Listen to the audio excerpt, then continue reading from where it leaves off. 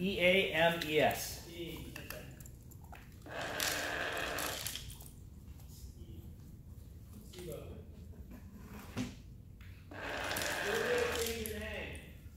Because she used the money that she was saving for the chair on him.